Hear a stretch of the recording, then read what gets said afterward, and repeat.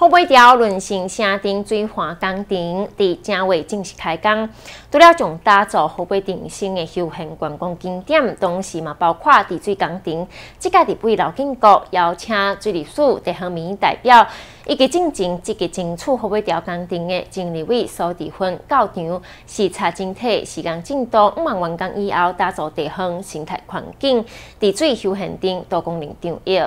北港这高滩。呃，流域内底全部把它纳进来哦。后背条工程总经费大概高于一千六百万，多是台湾第一件国际竞标水利工程。前总统蔡英文其实伫咧一百零八年莅临现场视察关心，而该工程也伫一百十三年为车来动工，至今已经有将近半长时间。这摆立法委员刘建国特别邀请到水利署前来视察进度。这边要特别感谢啊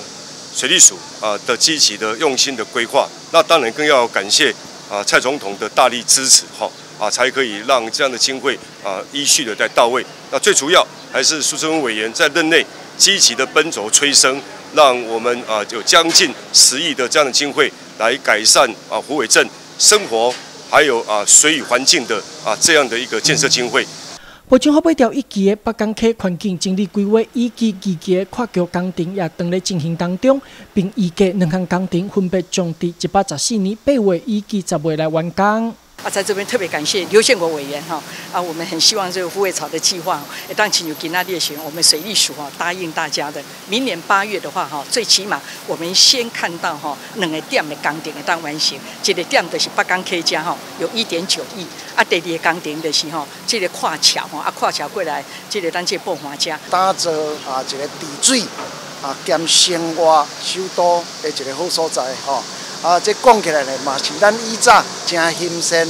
外观区也好，因咧做啊清水公园。其实未来我们就类似有这样的一个公园环境。伫咧一二期工程完工了后，水利署说来也将针对安庆大排以及车部分洪都进行改善，希望伫咧改善地方登记水患问题同时，也打造一处生态景观人文风景的环境。这个工程涵盖了呃青浦分洪道。的这个设计，让湖尾镇的淹水能够降低。那我们又会改善安庆郡的原来的郡路，啊，让脏乱的安庆郡变成一个都市级的非常优质的水域的湿地。后背条一期期工程分别将伫明年八月、十月完工，并陆续进行安溪大排以及车部分洪道改善工程。期待整体工程完工了后，会通来打造地方地水休闲观光场域，记者江义长报道。